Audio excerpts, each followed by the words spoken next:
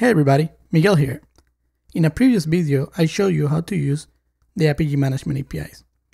First, I showed you how to call APIs authenticating with basic auth credentials. Then, I enabled single sign-on in my organization and I showed you how to call the same API but using an OAuth access token. That was all great. Today, I want to show you how to automate the process of getting this OAuth access token. But first, as a refresher, let's go over the manual approach to get this access token. Remember, the first step was to get a one-time passcode. So let's go to that URL again. And let me replace the zone name. Now Apigee asks us to log in with single sign-on, so I'm going to do that. We're taken now to the identity provider. Once you sign in, now you're taken back to Apigee where you get the one-time passcode.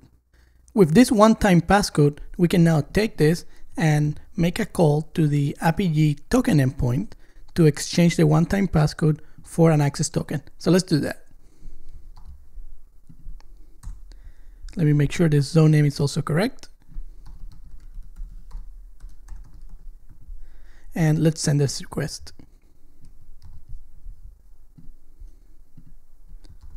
I'm gonna pipe this to JQ so we can see it formatted nicely. And there we have it. We get it. We got a response with the access token, the refresh token, and basically this is all you need. Uh, you can have you can take this access token now and make a call to the Apigee management APIs. Let's do that. I'm going to export this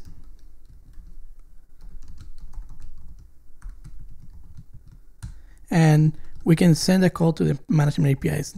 Let me grab that curl command and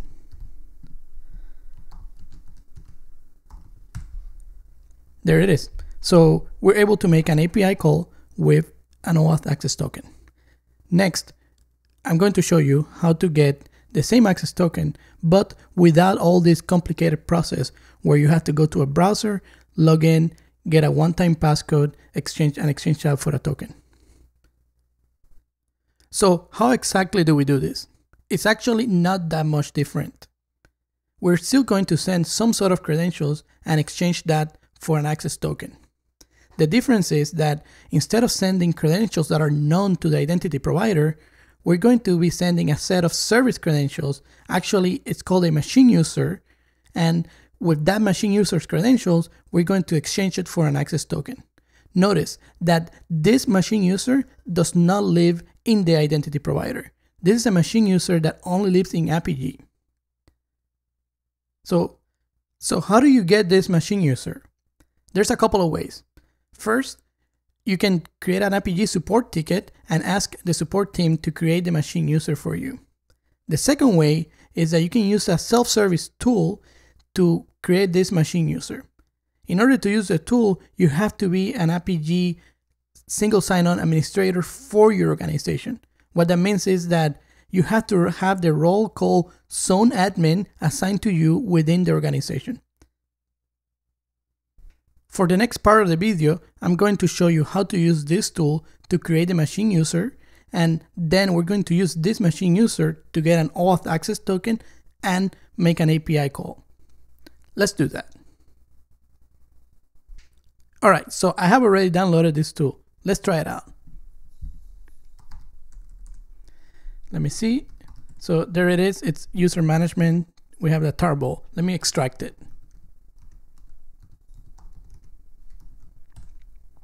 We can see that inside the tarball, there was there, there were a few files in here. And in my case, I'm in macOS, so I'm going to be using this one right here. So the first thing you have to do when you're using this tool is that you can run it without any arguments or anything, and it will ask you to log in. So let's do that. All right, so we can clearly see that it's asking us to enter our credentials. One important thing to note here, the username and password that you enter here, this is not your credentials from the identity provider. These are the credentials that you have before single sign-on was enabled. As an administrator, when you first logged in to Apigee, you had to have an account from Apigee. these are the credentials that you're going to enter here. So let me do this.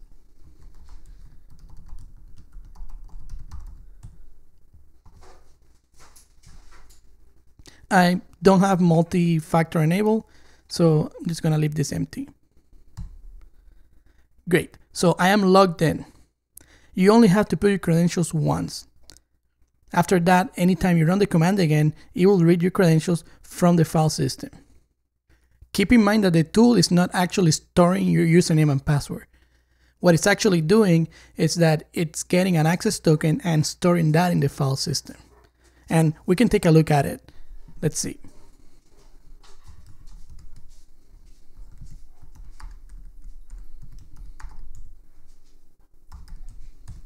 You can see this is just a, an access token. Next, let's actually use the tool. So let's take a look at the help for this tool. Great. So let's create a machine user.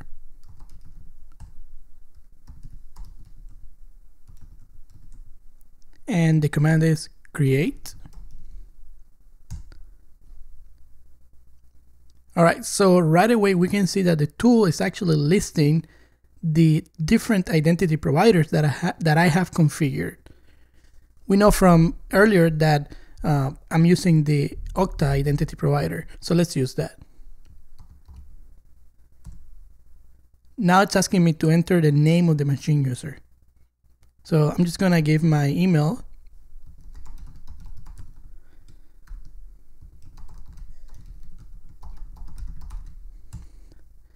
And finally, we need to enter a password for it. I'm just gonna pick an easy password.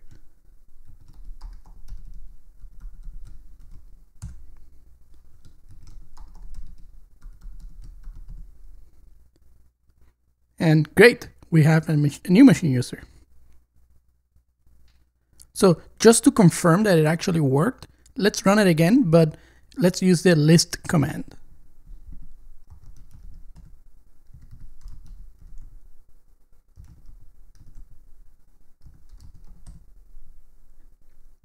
So it, it's asking me again to enter the name of the identity zone. So let's use that. And there we go. We can see that it actually recognized the machine user that we created earlier. So I think we should be good for now. In the next step, we're going to use the credentials for this machine user and exchange them for an access token. Then we're going to be using that access token to make an API call. Let's go back to the text editor where I have the curl command. All right, let me write down the machine user information. and the password.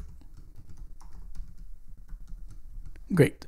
So earlier I mentioned that the process to get an access token with the machine user credentials is almost identical to the process that you do to get an access token with the one-time passcode. And it really is technically the same curl command. The main difference is that instead of passing a passcode, we're going to be passing a username and password. So Let's do that. Now, we have to be careful here. I cannot just send the username and password as is. Since we're telling the server that this is a form that's URL encoded, each of the fields themselves need to be URL encoded. Let me do that. So first I'm going to encode the username.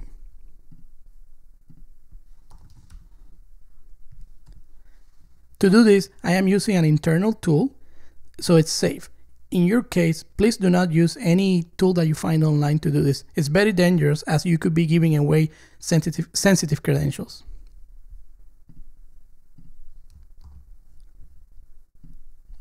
All right, so we have the username encoded.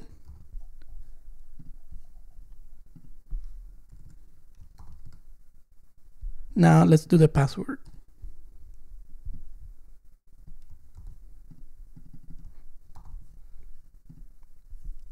Great. We have both of them now.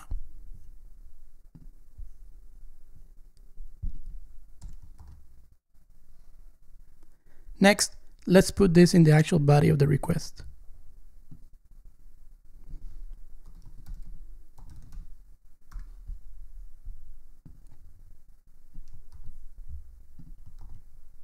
and the password.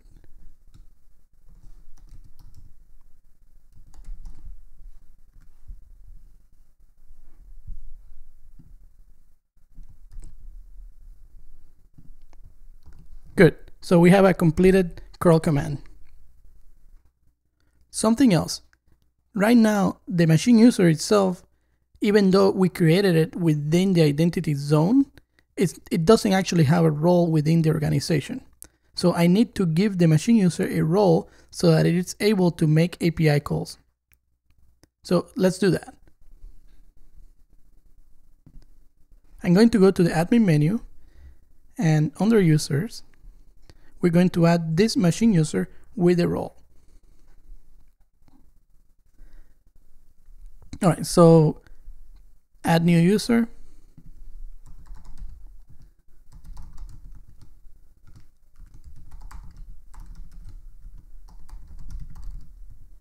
And I'm gonna make him uh, an organization administrator. And save. We should be good for now. All right, so now we can use this curl command to get a token and finally make an API call with the token that we just got.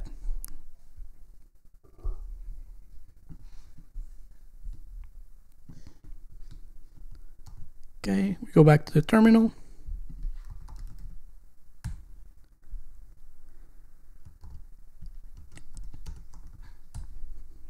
And there we go.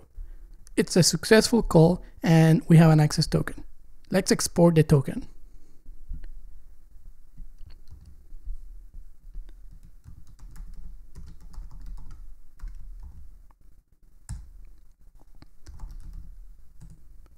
Great. So we should be able to make an API call now using the token that we just obtained.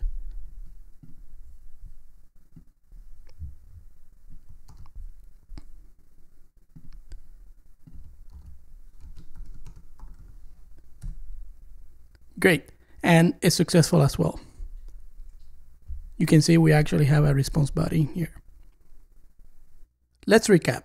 First, as the zone administrator, I use the self-service tool to create a machine user within an identity zone. Then, I gave that machine user a role within the organization. Finally, I use the curl command with the credentials from that machine users to obtain an access token. Finally, with that access token, I was able to make an API call. Hopefully, you can see how these last two steps, getting the access token and making the API call, can be easily automated once you have a machine user's credentials.